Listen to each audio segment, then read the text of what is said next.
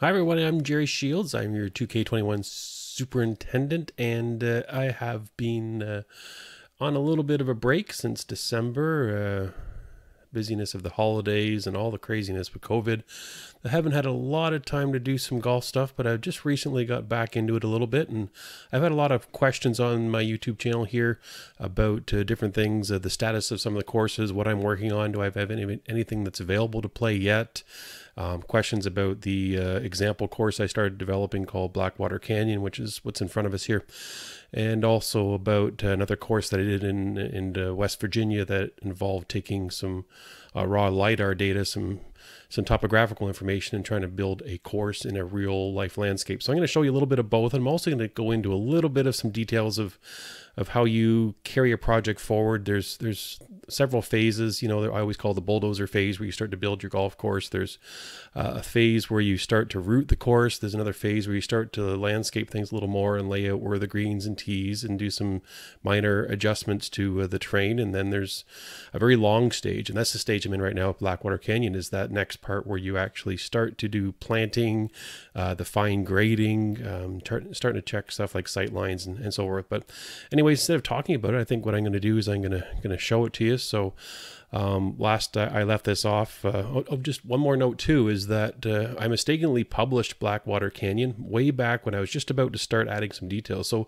what might be a really interesting thing for you to do is to to take a look on uh, the course listings and look for Blackwater Canyon because you're going to see the version that I last left off with that has very little work done, has a few fairways carved out, gives you a rough idea what looks like when you're in that process. Uh, I don't think it's playable. You can try to play it, but you're going to find out there's features missing and things that are flat and things uh, greens aren't shaped, that type of thing. But it at least will give you a, a, taste of what a course looks like when it's in that development stage. So uh, I did publish that by mistake as I was trying to transfer courses between computers, and as a result, you can kind of see how it looks when you start to evolve. So so let's get right down to it. I'm just going to go to a few holes on this course and then a few holes on on the West Virginia course that I'm working on, and, and give you an idea of how these things work out. So uh, with this design, the concept was if I go back and look big picture, was I had this river that came into this kind of canyon that was high on both sides. You can see on the that far slope and that far slope, and I wanted to tuck a golf course tucked in the middle, and you can start to see how it's coming together now.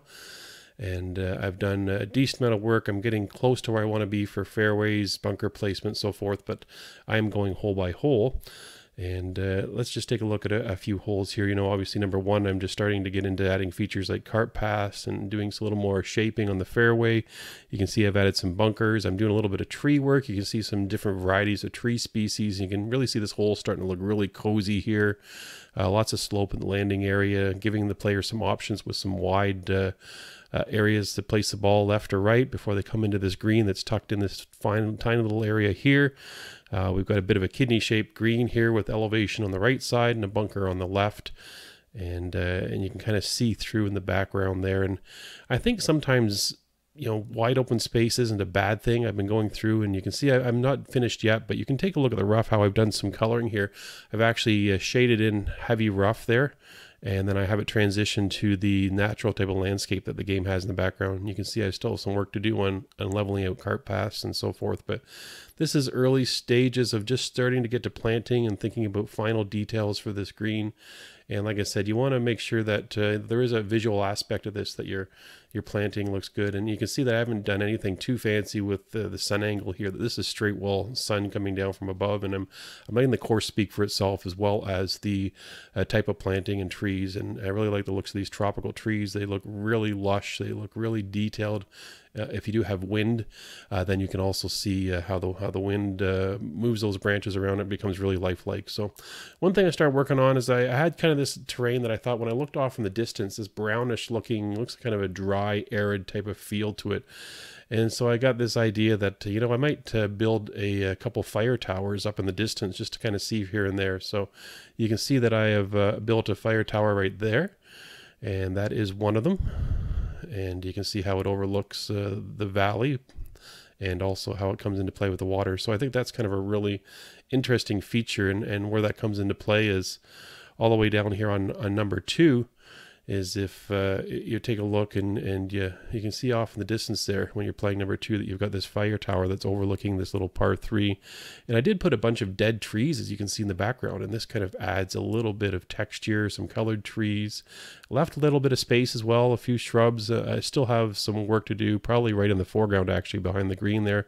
I want to do something with that area. It looks a little bit plain, but I'm trying to get that hillside looking kind of how I want it to look.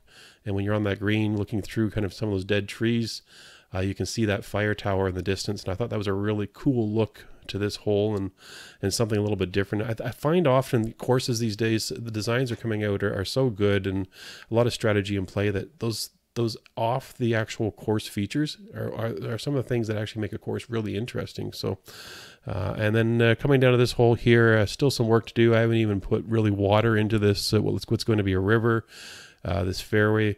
Uh, a reachable par five. Uh, see, I've got the water down towards the green, but not up at the tee deck. Yet uh, playing with the idea of a spillway, water behind, in front of the green, beside the green. Really interesting uh, risk reward, reachable five.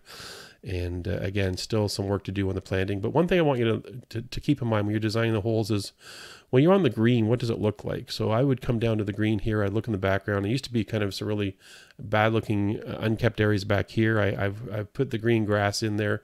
The plan is I'm going to go back up there and plant that with a lot of shrubs and, and undergrowth so that it fills that space in back there. It's not really a playable space, but it is a highly visual space. And, and I may plant a few, uh, obviously some, some water plants along the edge there and a little bit into that, uh, that rock face that carves uh, through the river.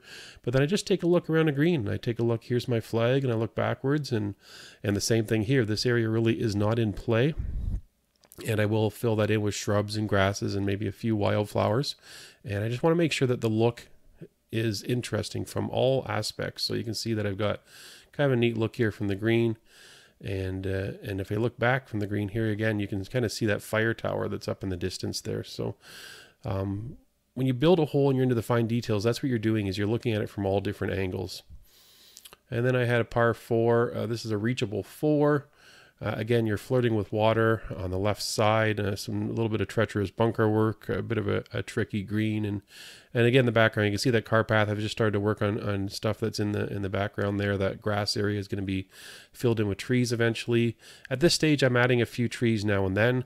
I'll just use my mouse here and, and show you know a, a couple of these trees I have actually added in uh, already just to, just to see if I can get a feel. You know, this this odd colored tree here, experimenting with different looks and colors. So when you're on the tee deck and you're you're looking towards uh, the green, let me get past this here. Stuck in the trees. Come on. and you're on a tee deck here and you're looking down the fairway, I want to make sure it's visually interesting, that it's filled in. Uh, I can still see a little bit of work to do behind the green there. You can see kind of those browns areas there, this brown area in there. I'm likely going to add some some texture, some color.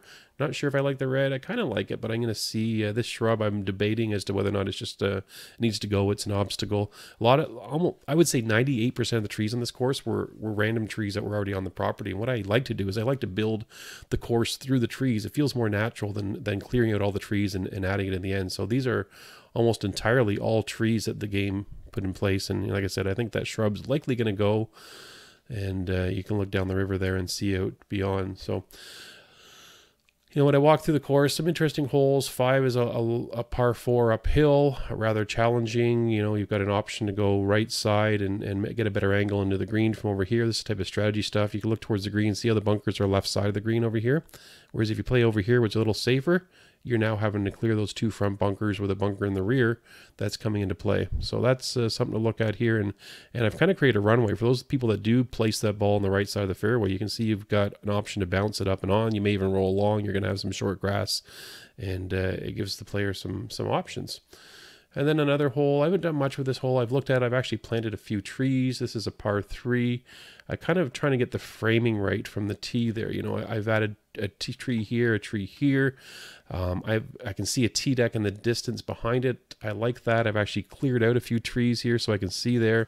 And this is another hole down here in the background. I kind of I like that look when you're on the green and you can see other holes. And you can see if I'm on this green here. Let me get the zoom right that you actually can start to see a little bit around and you can see the hills in the distance and, and, and kind of how it looks on each hole really uh, sets up the feel of your golf course that, that goes beyond just each individual hole as its own entity. And another, uh, I think we got a par five here that is reachable in two, but you have one heck of a green to navigate.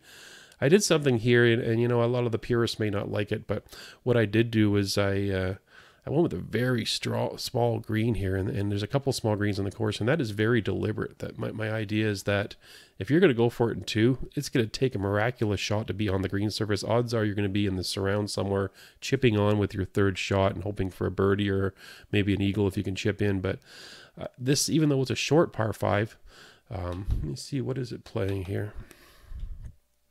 Let's see if I can get this to come back to me if you just press the button, the right button here, you can bring up the settings. And this is a uh, 560 yards, so you're going to need a, a, pretty good uh, two shots. It is downhill, but you can get there in two shots, and uh, and that's where it becomes really interesting. And just going to go back and get rid of some of this stuff. There we go. And uh, yeah, and then you see cart paths in the background I've been working on and uh, and working our way through. I, I did have an interesting hole here I wanted to show you, and that is my uh, par 5 I've called the staircase. And uh, this hole is becoming more interesting. I've did a lot of changes to this, and it's called the staircase because it's a par 5. Originally, I had to take three shots. You'd play from the tee deck down into a landing area that was uh, somewhere down in this area by the bunker you then had to climb a cliff, and that cliff is really steep. And if you end up so on the right side of this fairway, it's going to take options out of your hand for playing a, a, low angle club. You want some trajectory to get over that hill. If you can uh, nudge it in over the bunker and tuck it in the left side, you can see you got a way better approach uh, to that next uh, step up onto the next part of the hole.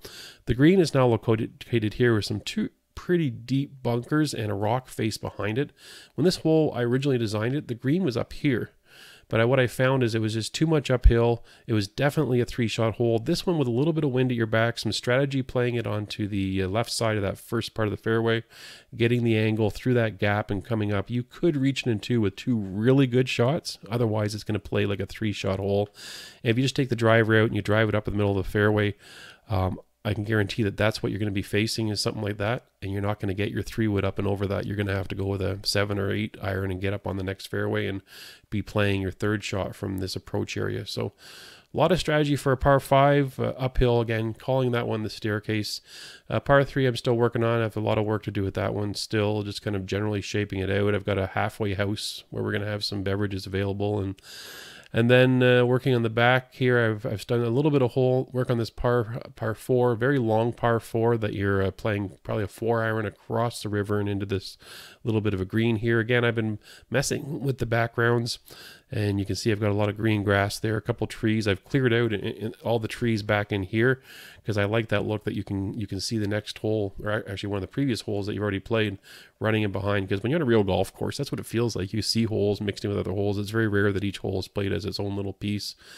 Uh, I did do a lot of work on this hole here, a little par three, and it uh, carries over the river again that runs through this area and. Uh, and I've been playing with some interesting features here, uh, different colors in the background, really trying to frame the shot uh, that I wanted to have something that really was eye catching, different textures and colors in the trees. You know, I've got a hint of kind of a burnt uh, yellow orange color there, a dead tree here.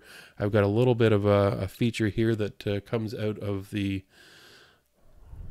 you can see a dead stump that comes out of that uh, the bit of a ledge there with a little bit of actually uh, flowery growth that's grown into a crevice of that that stump uh, little features that as you get closer to the hole become a little more interesting you can see the color really starts to come out here i'm going to do some more planting off on the far left of this picture here but you can see i've added a little bit of color here and there the dead tree stands out that stump definitely adds a little bit of texture and looking back the other way we get the same type of feel. You can see that I've got to this oddly shaped tree that's kind of hanging over the hole there, along with the the color and, and the, the fairway from the previous hole and the car path. It kind of paints a nice uh, picture and makes it interesting when you're sitting on that green that there's a lot to look at. You're not just playing this hole but you've got kind of a, a, visual sense. And when I look back, I haven't done anything at the tee deck surrounds, and you can see the difference. That, that's what it looks like when you haven't really added any detail and played with the planting.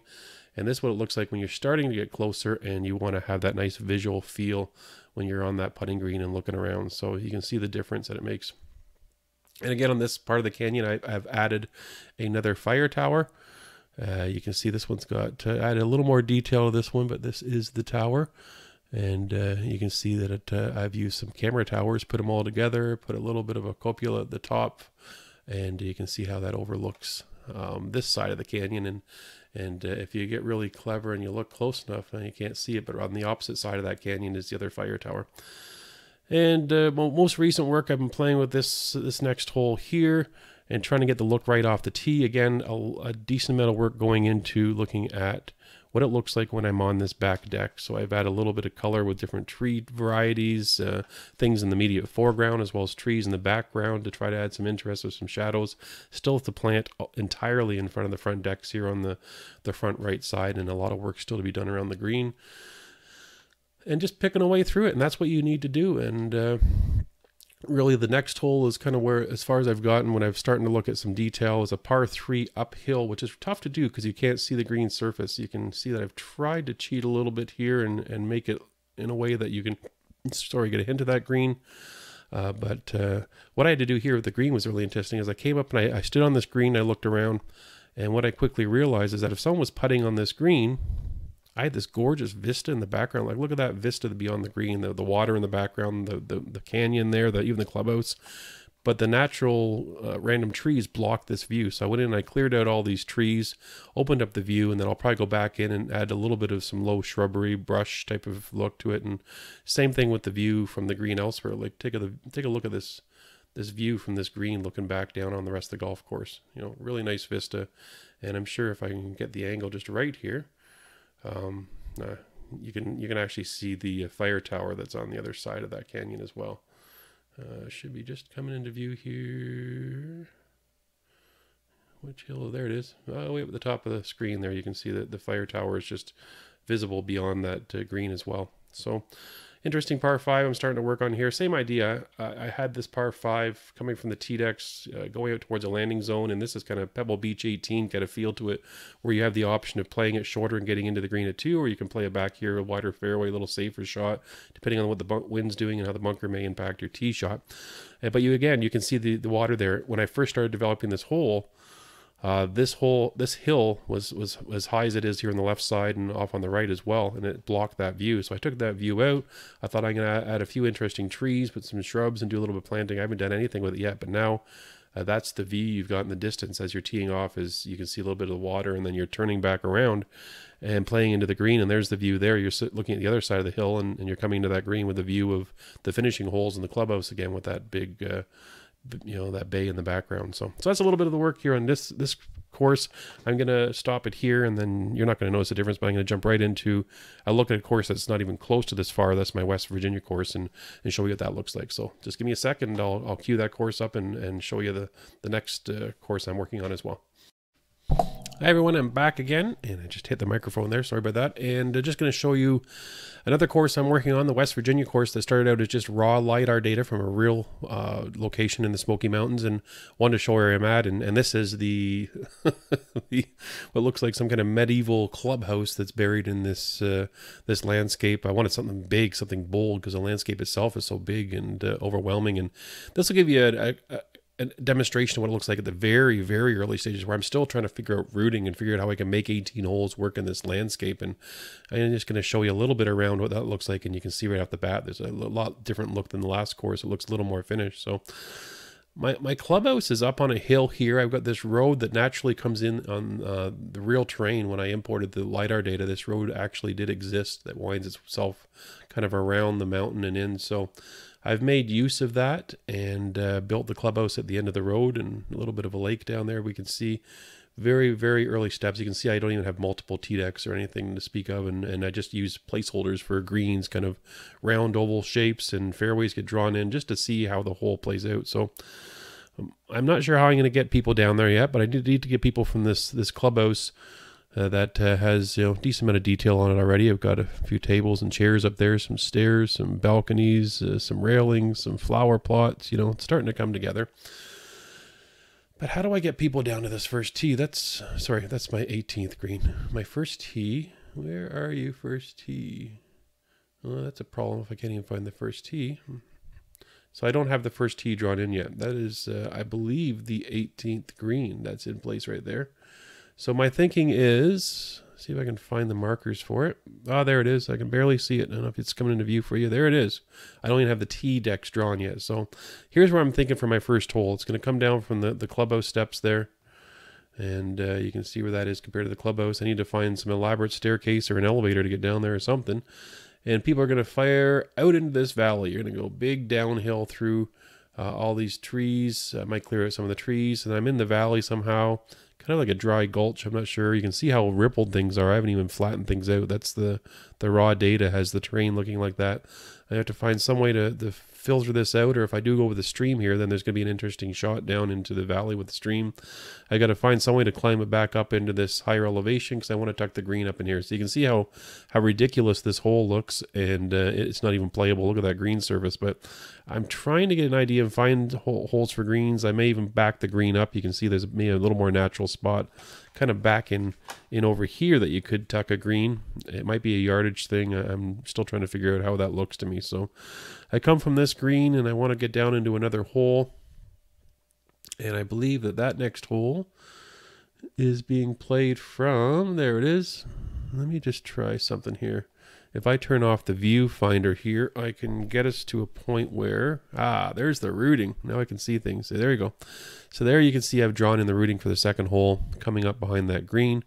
And again, playing down across this valley up to a green with kind of this stadium feel to it. Uh, and still trying to figure out how that's going to look for my next hole. Let me just change the view on the side. So I've got six par fours, six threes, and six fives you know, setting this up as a 200, a 333 par four sounds short, but it is going to be a, a lot of uphill. Third hole, little par three across this little gully up into this little landing area here. Uh, and then we're going to try to step up. There's some really interesting holes here. You know, four comes up the hill. The problem I've got with this big, big mountain is I've got to find a way to climb it so I can come back down it, right? It depends on uh, where you are. I come to the top of the hill. I've got a mess of holes up here. I got a fifth hole that comes down from the peak actually and slides down to a green down and a little bit of a gulch here. And then I believe six uh, takes a run back. So six is interesting because six plays along the kind of the edge of this uh, this peak, goes through a couple undulations as you can see that'll obviously be flattened out, cleaned up. You couldn't play golf on that right now, but this is just the routing stage.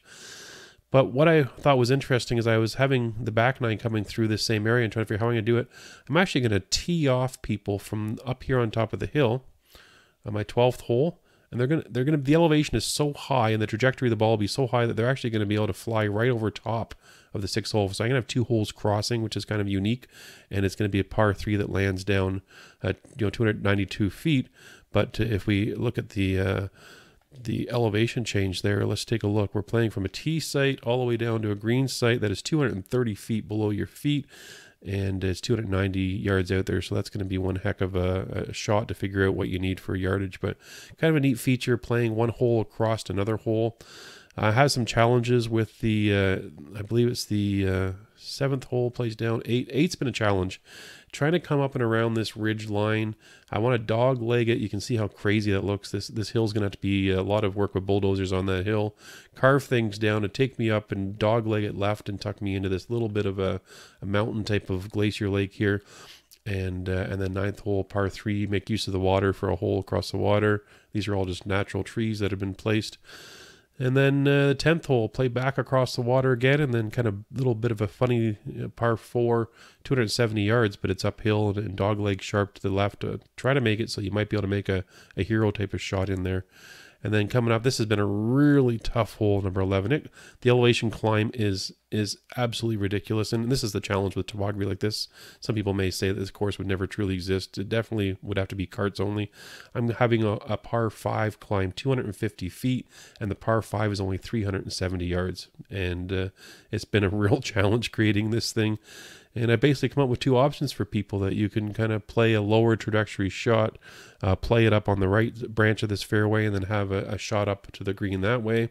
Or you can play it up on this higher peninsula and be in a, a higher position to come in at the green as well with options available. And still seeing how that one works and not sure I 100% like it. Uh, but, uh, you know, that's part of the game is, is, is uh, trying to figure out uh, the routing, and that's where I'm at. And you know, 13th hole, things wind through. 14th hole, 15, you come back down the hill here. Uh, you're going back down. This is a really interesting hole. This is a 633 yard par five, but it, I think it's also downhill several hundred feet. So you're going to get a lot of carry. You're going to come back up the hill again on 16, 17, and then 18 is going to come from the top of the mountain. Uh, I think I've got a par four here that uh, is very, very uh, big elevation drop. If I uh, measure this, we can go from the top of the hill down to the bottom here. You can see we are looking at a 450 yard drop. So that makes it really interesting. And if, if I was to, you know, play with that a little bit and, and show you what does that look like for playing a hole. And this is one of the things I do when I'm creating holes is let's, let's tee me off from up here. You can actually play from up here and uh, it's going to be uh, interesting to see where it thinks. So there's where my driver is going to be 200 yards down. I uh, I think that uh, realistically that the ball's going to actually carry farther over. So I'm gonna I'm gonna put on a trajectory more towards the green. Let's see where this thing lands. I think you can hit the hit a green that's uh, that far away. Oh, we got a tree in the way, so I'm gonna have to curve it around the tree a little bit. Let's see if this works for me. This might be crazy, but but part of the planning stage is this playing it up and take a look at that. We've got a 350 yard carry, and if that was fairway, we've got a 400 yard drive who doesn't want a 400 yard drive on the final hole to make it interesting? Heck, if I can make that ball ball run right to the green, that'll be really, really cool. But uh, try not to make it too gimmicky, but also trying to make it really interesting with the train and making use of it. We, are in the mountains. Let's make use of it as best we can. And and uh, obviously there's a, a, the tight balance there between what's realistic and not. And I think that's where I, I try to come in as a as a superintendent. I, I know what's realistic for maintaining, and I, I have to fine tune it. So this course is a long ways from being done, but I really wanted to give you an example of what it looks like when you are um, you know, at different stages of creating a golf course and where these two projects are. Because I know that a, a, few people have asked me uh, how they're they're playing out, and and uh, that's where they're at. So you can see this one's a long ways away. This one is maybe a week or two in with some routing that I did back in December. Uh, this course is still at least two to three months away if I started working on it today, which I won't because I'm working on the other uh, course uh, right now. So so this one is likely going to be you know we're looking at a spring summer release, and it's hard to imagine because that's in, in real terms of building golf courses. You know that's uh, that's a lot of work can be done in the real world in that amount of time. So, but that's what happens when uh, you want to put everything you can into into a golf course. So I hope these uh, two different courses were good examples for you to get an idea of where where uh, where course development goes from early routing stages to final considerations for planting, sight lines, playability, that type of thing, and, and hopefully it keeps you going on your project. I know lots of people working on courses out there that uh, that uh, you put a lot of work into, and uh, and uh, hopefully not getting back into a little bit of time to play some courses and and do some more reviews. But until then, I will uh, let you go, and uh, good luck with your own courses. Hope this was helpful or inspires you to keep on Uh, plugging away. And uh, until next time, take care, and we'll talk to you soon. Bye for now.